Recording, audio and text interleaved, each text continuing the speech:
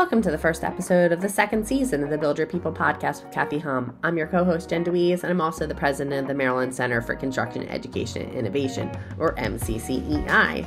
At MCCEI, our mission is to inspire, educate, and connect a diverse population to careers in the built environment.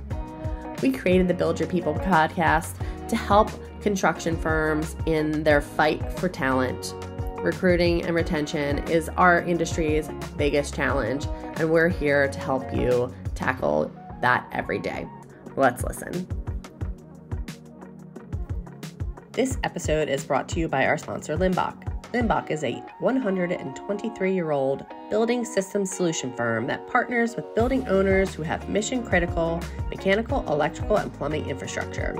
They have an in depth experience partnering with building owners primarily in six vertical markets healthcare, data centers, industrial light manufacturing, cultural entertainment, higher education, and life science.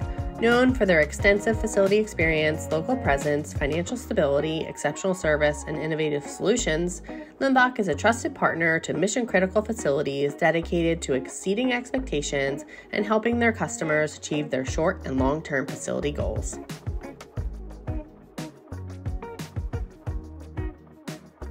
Welcome to the second episode of the second season of the Build Your People podcast with Kathy Humm. I'm your co host, Jenn Dewees, and I'm also the president of the Maryland Center for Construction Education and Innovation, or MCCEI. Our mission is to inspire, educate, and connect a diverse population to careers in the built environment. With me, as always, is our podcast co host, Kathy Humm. Hi, Jen. HR. Hi. Kathy, you're HR professional and founder of NTP HR LLC. How are you today? I'm doing fantastic. How are you? Wonderful. Good. Uh, Kathy and I have two guests. We have TJ Hance and Keith Alton. Or nope, you're Keith Apton. Let me start that over again. Kathy and I have two guests today, TJ Hance and Keith Apton.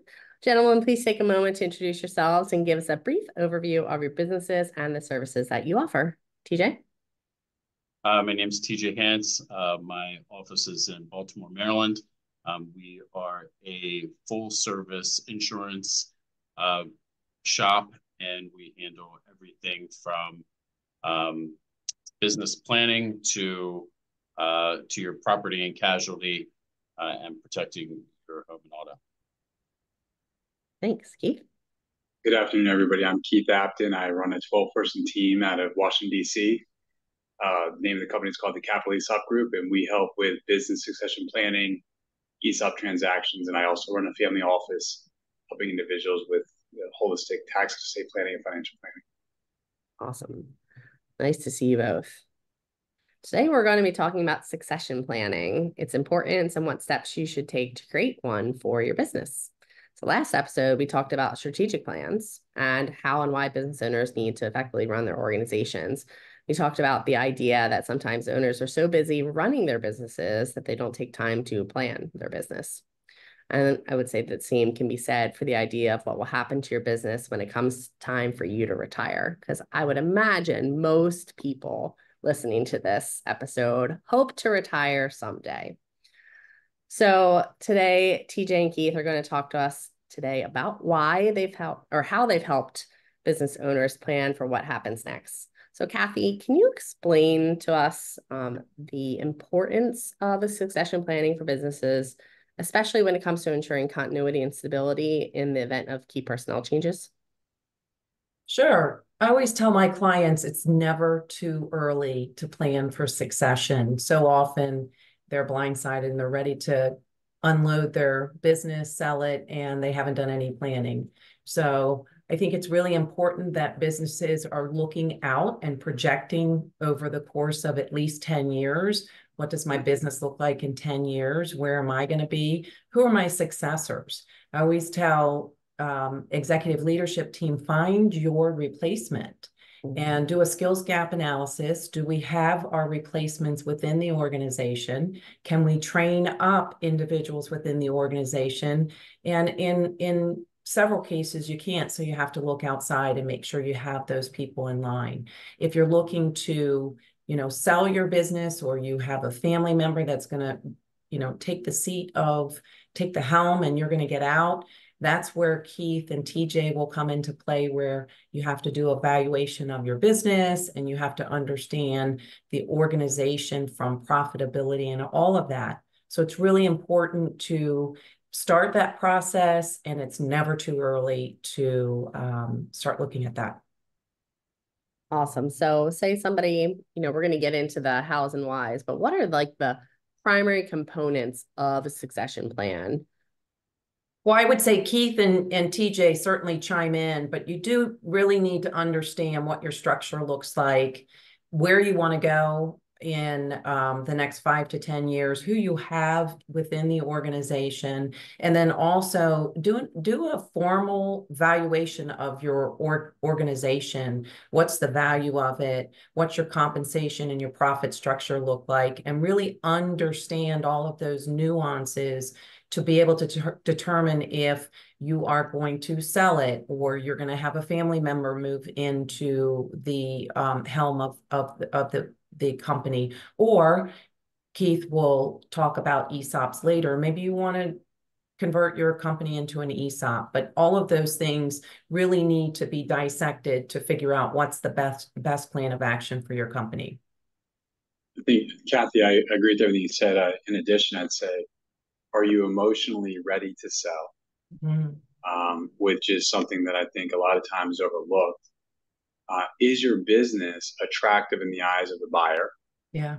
Um, so, so essentially, have you had somebody come in and address the blind spots and things that essentially may have a black eye that you want to clean up before you go ahead and maximize value? And the third component is financially, are you in a position to sell? Mm-hmm. I think a lot of business owners and entrepreneurs, they're tired and they want to sell but they haven't actually taken time to recognize what life will look like when they lose the cookie jar of the business where they're able to st- you know stick their hand in the, the operating the operations and the, the, cash flows of the company to be able to fund the lifestyle. So the, the three things there, Kath, that I'd add again are are you emotionally ready to sell? Is the company financially prepared and does it look good in the eyes of the buyer? Is it ready to be sold? And have you actually done financial planning on the front end to make sure that you have enough set aside so that you're financially positioned to be able to sell. Mm-hmm. So that kind of tees off my next question. You know, we've Kathy, you've already said like there's no time, like now's the time to start your succession planning. But like for a business owner that, you know, they have a million things to do on their plate, like what is what what would tell them right these are all the factors that say this is now this is the time that you need to make a decision um, and when is too late to start planning that? And if it's not you kathy keith uh, tj what are your guys thoughts? Keith i think you're spot on. Go ahead and take that one. Yeah yeah i'm sorry. Can you repeat the question there jen so like what when when when you're trying to decide of all the things that you're doing as a business owner, when is like the last moment that you should be trying to this succession plan? Like how how long is too late to wait? Yeah, I I think that I think TJ and I were talking about this prior to this call. I, I think that you should. It's a continuous process. Mm-hmm. I, I think that you actually need to be thinking about succession planning as you're building your company. You know, how's the business going to operate? What if I get sick? Can the business continue to operate and take care of my clients, my customers? Obviously, it's an income stream for my family. How's it going to continue to operate if I already get sick and have to step away for a period of time? You know, so I think it's a, a continual process that as you're building and scaling, you really need to be setting your company up to be able to run without you. Check your ego at the door. You really want to advocate for your management team and make the business be able to operate and have a brand to be successful with or without you and be thinking about what is that number that I ultimately am looking to get to where I'm in a position to be able to decide do I want to sell. So for me, it's a continuous process. Um, but you never want to be in a scenario where you're reactively being forced to sell. Mm-hmm. You want to be in control of that process and you want to be in control of your timing because the more time you have and more options you have, the better you're going to be able to make the right decision for you, your family, the company, and your employees. Yeah, with with regards to when is it too late, I, I just actually made a post about this, I think last week. I'd sat down a few years ago with a restaurateur uh, in Ocean City, Maryland, uh, very success, successful. It's been in business quite a while, and I was literally sitting at his kitchen table and said, "Rick, what happens to the restaurant when there's no more Rick?" And he looked like I had he'd been blindsided by a truck.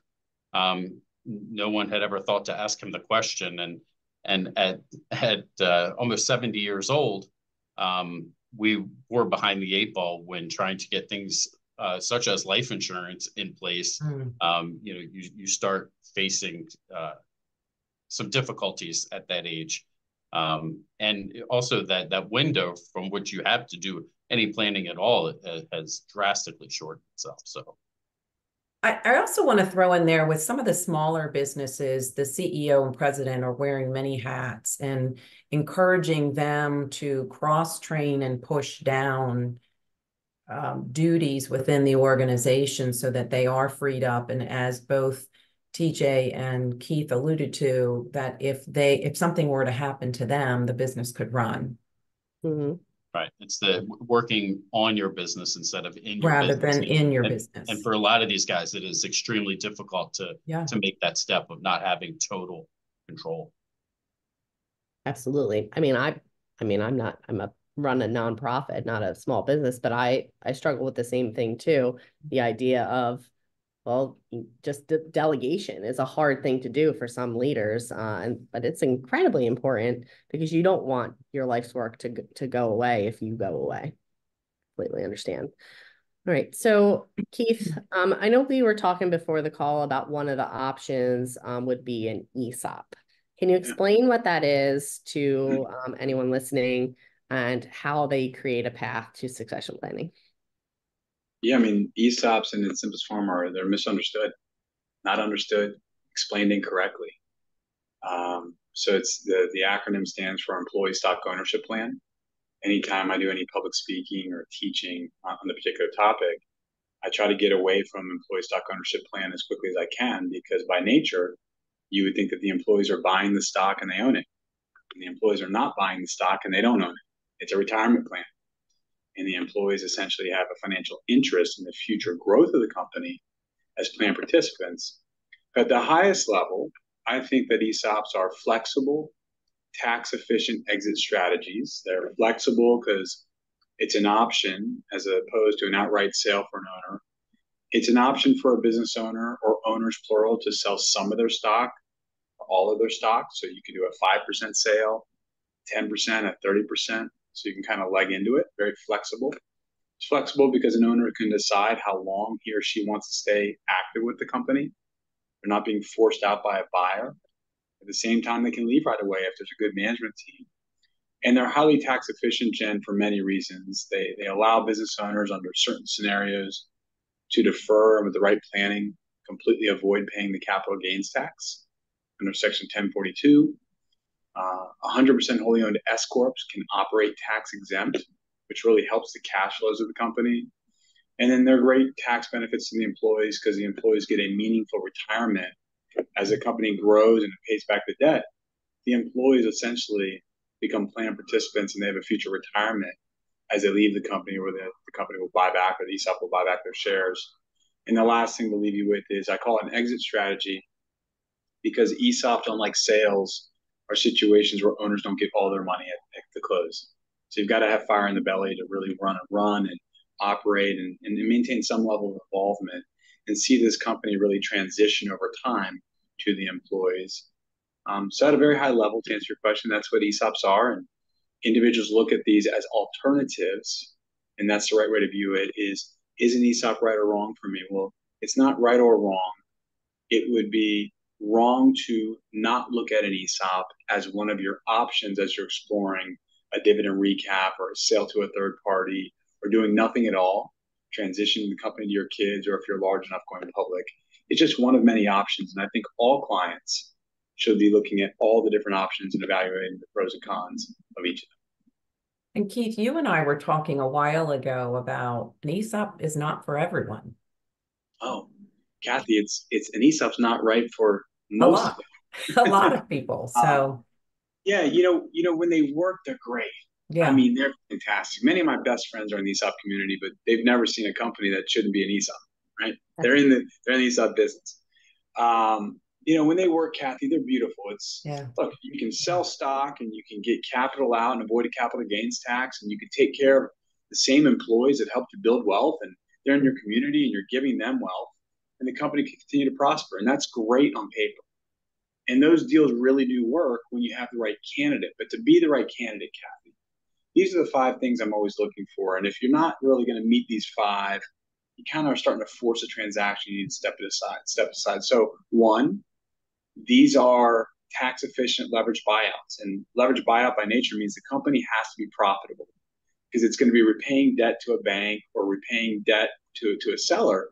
So you need a strong, profitable company with predictable earnings moving forward. That's one variable. Two, you need a company that doesn't have a lot of debt because if a company has a lot of debt, if they have current cash flow, they're paying down debt. So we're looking for good, healthy companies with good reoccurring cash flow with without a lot of outstanding debt. That's a second variable. Third variable, we're typically looking for companies that have 30 employees or north. We can look at 20 to 30, Kathy, but anything fewer than 20 is tough. 500 employees is great. 1,000 is wonderful. But you really want to see 30 employees in north. And then the fourth and the fifth characteristics, we've talked about this earlier. The fourth one is you need a good management team because you're not bringing in a buyer, you're creating the buyer. Mm-hmm. So if you're going to create the buyer, if the entrepreneur is the business and they haven't built or worked on that succession plan or that management team, then really the company is going to fall apart because there's nobody there to run it. And the fifth and the last characteristic that leads into your question is um, is it a good candidate? You know, ESOPs are not right for any, everybody. If you are burned out and you want to leave the company and you're looking for a check and you want to pay taxes and retire, an ESOP's probably not the right fit because it's going to take you every bit of five, seven plus years mm-hmm. to be able to a full per- purchase price out. So, in summary, again, what I left you with is the five characteristics we're looking for. Not to say these are the only five, are good cash flow, not a lot of debt, north of 30 employees, a good management team, and the last one is an owner that has fire in the belly that recognizes this truly is an exit strategy, just not, not an outright sale. There, I mean, I know that there are several general contractors in the Maryland area that that have ESOPs, and I and they publicly mention it because they see that as a recruitment uh, strategy too for their employees um, as a way to gain wealth.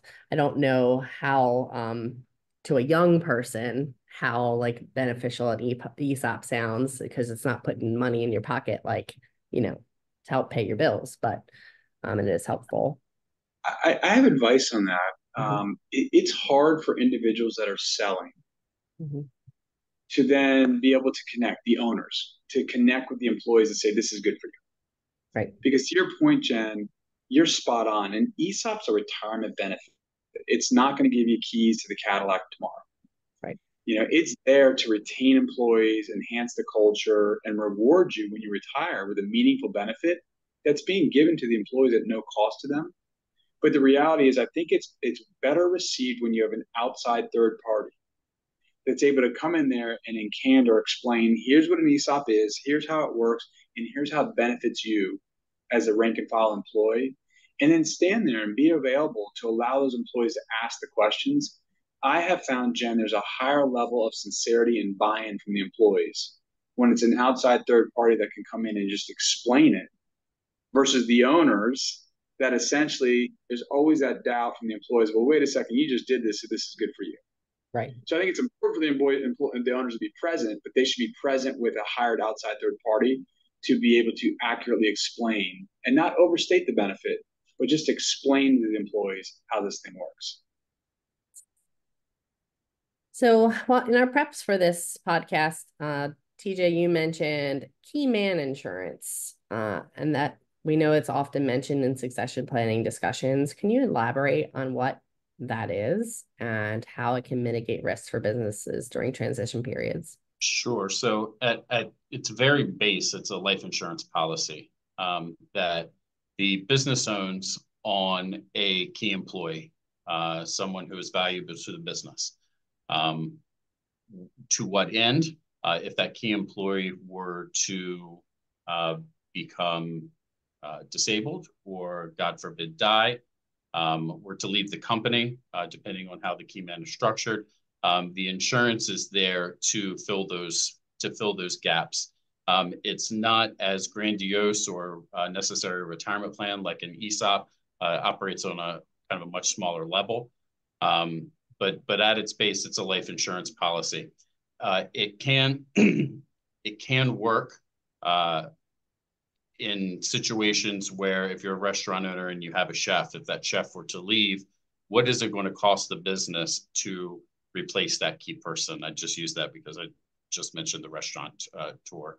Um, what is the, what is it going to cost that business in perhaps lost uh, income if people stop coming to the restaurant because that chef is no longer the chef the, the menu for some reason changes um, you have to be able to train someone to replace that person and what that insurance does is pays the business the death benefit uh, in in certain situations or the business owner would also be able to take cash value um, out of the life insurance policy to fill those holes so that there is no interruption uh, in business while those while that succession is taking place. Okay, so this sounds like it might work for those people that didn't get their ducks in a row. Um, with... Quick, get a, an insurance plan. right. It could it could it could certainly work for the people who didn't get their ducks in a row, but but also it, it if if you were going into business with somebody and for some reason you're not setting up a buy sell agreement, which every single partnership should have. Um, this can also be a way to kind of work around that. If if you and I are in business together and you're the widget guy, and all of a sudden uh, you're gone, um, where where am I going to replace? Who am I going to replace you with? How am I going to find them? How much time is it going to take? How much is it going to cost? And that's when the insurance portion can step in and kind of fill that gap for the for the business owner. So it, I mean, even if you do have a contingency plan, it sounds like a beneficial um, insurance plan to have. Absolutely. So, Kathy, what would you say some of the common challenges or obstacles businesses face when implementing one of these succession plans? And I, I think the first and foremost is ownership buy-in. I, I go into clients and they're struggling with strategic planning and succession planning is a whole nother level. Mm-hmm. So getting them warmed up to the idea that it's never too soon to plan and then setting aside time to do it. I, I I can venture to guess that TJ and Keith would would agree that this takes countless hours to, you know, figure out. It's not an overnight fix and it takes time. So setting aside regular, regularly scheduled meetings to talk about succession planning is really important.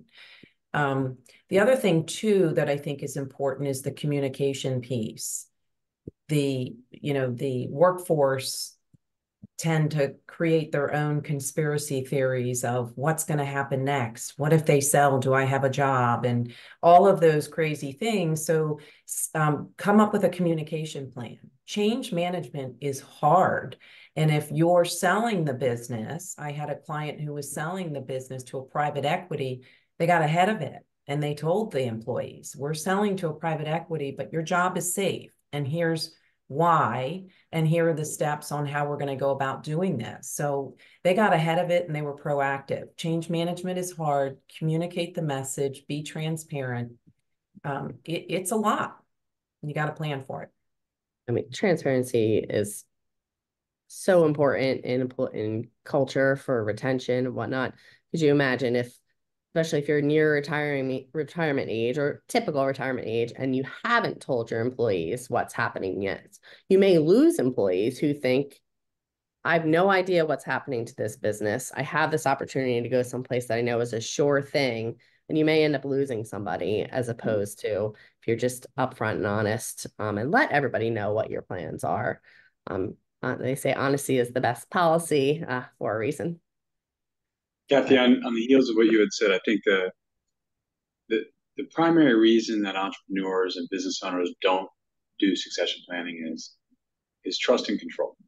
Mm-hmm. Mm-hmm. And and so control is the obvious. It's entrepreneurs love having control. They're smart, um, they're decisive, and they've been in control of their decision making. And there's never a great time for them to give that up. It's, it's what they do.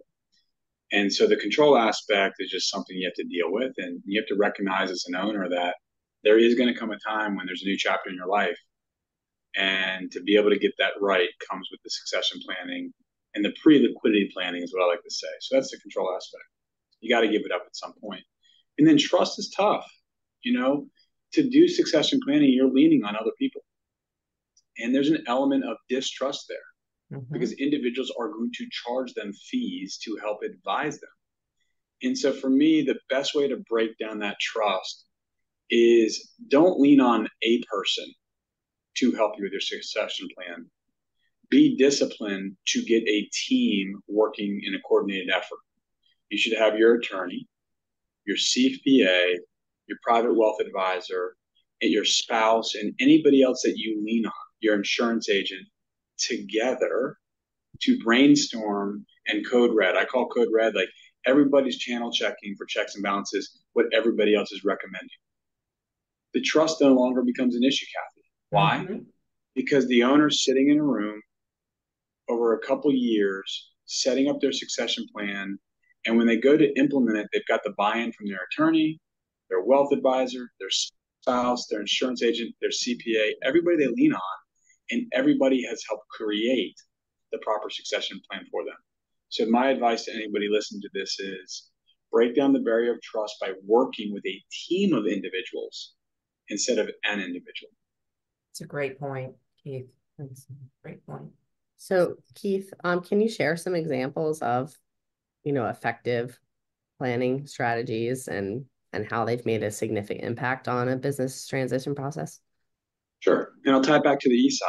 Um, you know, I've done this for 23 years and been fortunate to be part of a little over 300 of these transactions. So that's that's the one that'll resonate. And it came with proper succession planning. I call it the seesaw effect. I'll leave the company um, obviously confidential, but you know, I had a, a client that that had a, a really successful company, and he enjoyed you know owning the company, and he enjoyed having his name on the front door enjoyed bringing his kids into the business, and he understood all the perks as an entrepreneur that owning this company provided him. At the same time, he was tired. He was ready to retire, and he really actually needed the money out of the company that sold at a multiple for his own retirement. And it became a seesaw. It was, well, I need to sell so that I can step away and focus on myself and my spouse and enjoy our retirement. That was one half of the seesaw. The other half of the seesaw, where it went like this, is but I don't want to sell because then I'm going to deprive my kids of the same wonderful lifestyle that I had, and my kids are in the company, and I want them to be able to feel good in the community and have their name on the front door and be able to take the earnings out of the company. So there was this big tug of war, and the client was really struggling with this for a period of five years, and so we all got together, and again, it was lawyer, CPA, myself, and and, and, and really a spouse. And we came up with a solution that accomplished the perfect outcome, which was I went back to that flexibility of the ESOP. He ended up selling 49% of his stock and gifting 51% to the kids. Nice. So what happened, we got a valuation on the company. We did some pre-liquidity planning and we figured out from a Monte Carlo analysis and some wealth planning that our team helped him with is if you sold for 49% of the value of your company, is that going to be enough money for you to live off of comfortably in retirement? And it was. So what we did is we made a gift of 51% of the stock to his kids, got it out of his estate. Right. His kids now are on the board. His kids have full control of the company. At the same time, this individual was able to sell 49% of his stock, have enough liquidity to exit the company, and live that comfortable lifestyle that he deserved while the kids still had full control of the company. And they may or may not sell their stock to a late, to the ESOP at a later point in time, or just sell it outright. That's a decision that they can make. That's right for them, the company, and the employees in the future. Smart. Now, not everyone has kids to gift a company to. So, um, TJ, you mentioned earlier buy sell agreements. Can you explain what that is um, and how that could be a benefit um, of a succession plan strategy? Sure. So so I will, and then I'll also tie in a story where I, I think we, we have all talked about how this takes time. It takes time to get these things together. It takes time to get the valuation. It takes time to get everybody on the same page. Um, at my former firm, we were working with uh, two architects to do a buy-sell agreement. They were two partners. Um, and generally in a buy-sell agreement, there's several ways that they can be structured, whether it's cross-purchase um, or entity purchase. Um, we were setting up a cross-purchase with these two individuals. Uh, both were married with kids. Um, both were approaching 50 years old. The business was close to 10. And we had been introduced to these guys through uh, a CPA. And uh, we were working with their attorneys. We were setting up the buy sell agreement so that if, God forbid, something were to happen to uh, one of the partners, the other partner would be able to uh, buy out the shares from the other's from the other's wife, because in Maryland, that's just how that works. Um, we got the attorneys on board. We had the CPA in the room. We knew how much the company was valued at. The, the point of contention was the type of insurance that was going to be used to fund the buy-sell agreement. Was it going to be permanent or was it going to be term? Uh, knowing that they were eventually going to sell the company uh, at, at, hopefully a profit. Um, and they weren't sure if the uh, the monetary contribution to a permanent policy was going to be the right fit for them. This conversation went on for 16 months. Uh, at that time, one of the partners uh, unloaded uh, his groceries from his car, uh, went in, sat down on his couch, and never got back up. Um, and that is kind of yes, these things take time, but if we don't implement them uh, and and we we sit on the fence with them, then bad things do happen, and that's why the, we set these things up in the first place. Mm-hmm. Uh, the other partner uh, could not keep the business afloat, um, so there was some a lot of downsizing that was done, and uh, and to be quite honest with you, I, am not sure if if he is still running that business or not. Um, but but those are th- that's the other side of it that's what happens if you don't if the decisions aren't made even though everyone's on the same page and the time has been taken for the valuations and and it's, it's the unexpected and that's why this that's why we do this planning because not everyone unfortunately makes it to 65 to 70 years old to sell their business for profit and live the next 25 30 years of their life you know when on the sand under palm trees uh, wherever retirement looks like for the, the individual. So, um, but but a buy sell agreement, back to that point, at, at, at its very base, it protects the partner in, in a partnership, um, basically from from any any sort of the disability or, or death, God forbid. Um, quickly, we don't have to get too in depth to any other options, Keith. But besides, you know, Keyman insurance, buy sell agreements, ESOPs, uh, are there any other strategies for succession that you think are worth mentioning? Yeah. Um, one that people don't talk about a lot is doing nothing, meaning running the company. I mean, it should be by design and by choice. I would say that that's a poor option to just kind of fall into. But you can obviously run the company and and set up a management team and become a passive owner and just take your distributions where you compensate people properly. Some owners like that because they look at that as an income stream that's far greater than they could get off of real estate or the market. There's a management buyout where your management team is able to cobble up their own money through leveraging up their balance sheets in the company to be able to buy out the owner. There's a dividend recap where the company will essentially borrow money from a bank and make a dividend payment to the owner. There's a sale to a financial buyer, which is often called private equity. Mm-hmm. It's somebody that's going to come in there and buy the company. And then there's a sale to a strategic buyer, which is somebody in the same sector where you're ultimately going to get the highest purchase price, but at the expense of them coming in paying that premium because they're going to get rid of your HR, your CFO, CEO, your president, because it's duplication of you know the executive management team. And then the last option that, that people have, if the company's large enough, is going through the rigorous process of filing S1s and doing the roadshow to go public. So you have everything from doing nothing to a management buyout, to an ESOP, to a sale to private equity, to a sale to a strategic buyer, to going public. And, and as I said earlier, what's really nice is if you have time and you set aside the right amount of time, depending on the size of your company, the owner should be in control of figuring out what the right succession plan is for them because they've evaluated the pros and cons of all the options I just laid out for them.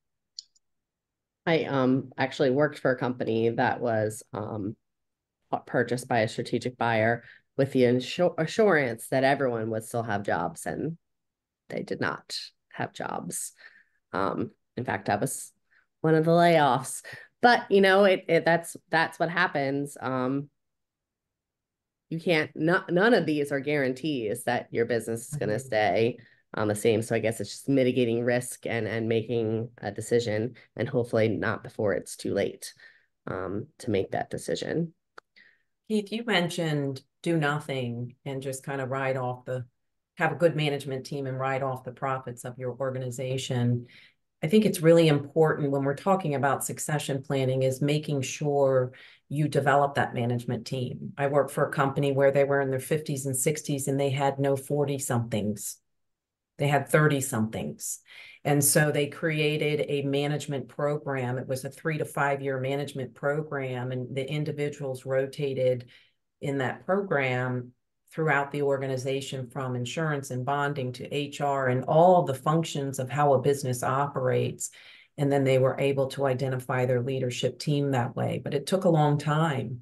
So definitely planning for who is that management team another thing that came to mind when when during this conversation was when you you are an owner and you have family members that aren't the right fit they're working in the business but they're not the right fit to take over the business just kind of wanted to throw out that and see what your thoughts were because I run into that as well, where owners are struggling, like, oh, I've got my family members in here, but they're not quite ready. And I've got to go in five years.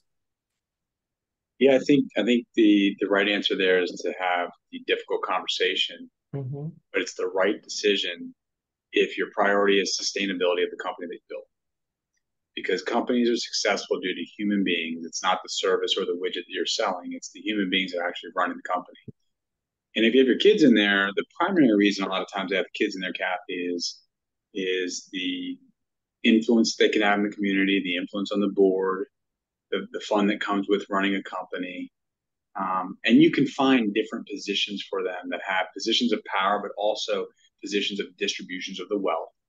But you don't have to make them the president or CEO.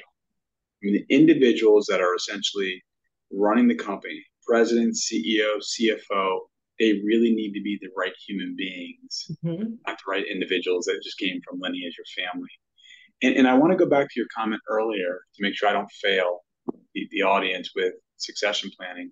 When I talked about doing nothing, meaning running the company and clipping coupon, to your point, that comes with intent of planning, of setting that up. Mm-hmm. And something that we, we talk to clients about is how are you going to be able to do it? Well, you can't do that if you don't pay people properly. So what we have a lot of our clients do, if they have the company and they've grown management and they want to have this passive income stream, or they don't want to sell it, they oftentimes put in a form of non-qualified deferred compensation, mm-hmm. synthetic equity, phantom stock, stock appreciation rights, management incentive plans. These are all acronyms that people in the financial services like to throw out. In its simplest form, form to just kind of um, simplify the, the concept, it's all right, I own a company today, I want to step away. The company today is worth X. Let's just say it's worth $20 million. It's my business, but I want to have these individuals run it. So I'm going to create an equity incentive plan that says for every dollar above today's value of $20 million, I'm going to give my management team 25% of all future growth. What that does is it really provides the safety net of giving them the incentive capital mm-hmm. to stay with the company. Mm-hmm. They are incentivized because they're going to get an uncapped future participation in all the growth of the company which really protects the family that's looking to develop their succession plan of having that company continue to operate because you're properly incentivizing, rewarding, and paying the management team to continue to run a profitable company. So there's all different forms of way to do that. It's it's not that one way is the right way, But again, it goes back to planning. Mm-hmm. Is yeah. to really align future profitability of the company with the exiting family um, to make sure the company remains sustainable. And you really have to get the experts like yourself, Keith and, and TJ, you know, to, to really understand what the options are. You can't do this in a vacuum. So we've success we've planned our, you know, chosen our succession plan strategy, but we still have 30 years before we plan to retire. We are rocking and rolling with this strategy. TJ, I know we talked earlier that like any plan, um, they should be periodically reviewed and adjusted. Like what are what are the processes in which or or Keith, either one of you, uh, to remain relevant and effective with this plan strategy? we sit down with, and I'm sure Keith Keith does this as well. We sit down annually with our business owners to assess everything, not just the succession plan, but to make sure we're on track with everything that that we're doing. And and if that's done, and we're talking 30 years out, we have some time. Um, but as long as long as we're staying in touch and as long as we are keeping everything updated and we know what's going on, and if you are building that management team um, or are you starting now? Are like where are those people coming from? I guess who's who's next up in line? What's going to happen over the next 30 years that is going to get you to the place where you want to go, or if that's 10 years or five, um, and just continually monitoring mm-hmm. and adjusting uh, the plan uh, so that it is it, so that the business owner can stay laser focused on the on the end game. Well, I know in the interest of time, does anybody have any final thoughts on what we need? Or if you one piece of advice to a business owner that we haven't covered yet. Take the time to get to know your advisors. Uh, ask for references. Mm-hmm. Make sure that you actually see that they're competent, but equally as important as competent, that you enjoy working with them and make sure that they're going to work in a coordinated effort with all of your advisors. That's the best advice I can share with any business owner. You need to have a succession plan. It's a village of people that you're going to work with.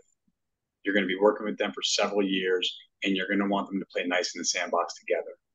So take your time to build and assemble that team. But it is a team effort. And I can't reiterate enough, just communicate often, you know, have your town hall meetings regularly and when the timing is is appropriate let let people know what what the plan is whether it's strategic planning or succession planning. They want to know and they want to be a part of it and they also want to know what what's in it for me. What you know do i have a job? Am i going to get laid off? What's going to happen to me? So it's important. Communication is big huge. Right. TJ any words wisdom? It, the the best time to start planning is today. Mm-hmm. So it's you know the the, so- the sooner you get it done, and and I, I think the major ex- objection that I get is people don't even know where to start um, or how to start. Um, but reaching out to a financial professional, whether it's your FA, whether that uh, is your CPA or your your attorneys, or your insurance professional, whatever that looks like, to ask the question and and and get started. Because one of us, if we don't know the answer, will certainly point you to someone who does. Yeah, start with the your most trusted professional, right? Who do you have the best mm-hmm. relationship with, and whose advice do you do you trust? It's great. Sure. Well, I want to thank you all for joining us today, and thanks to all our listeners for listening to the Build Your People podcast. We hope you enjoyed our second episode of season two uh, as we continue to tackle the construction industry's biggest HR issues. So now you've created and implemented a succession plan for your organization so you can actually retire. Join us ne- next episode while we discuss the super fun topic of con- compliance law. if any of our listeners have a topic or question they'd like us to cover, please share them in the comments. Please check out all the links or resources in the show notes and follow us on social media. That's all for this episode, folks. See you next time.